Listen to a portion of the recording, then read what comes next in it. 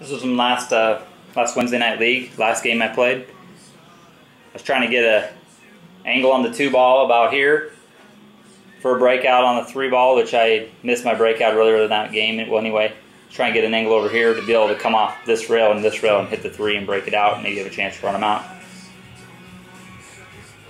Instead, I left myself really straight in on the two. Um, hit a bunch of high.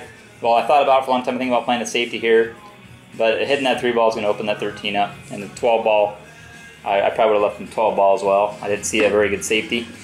I did see a possibility of going rail first, maybe making this three ball this way, but I didn't have a guaranteed shape on the two either.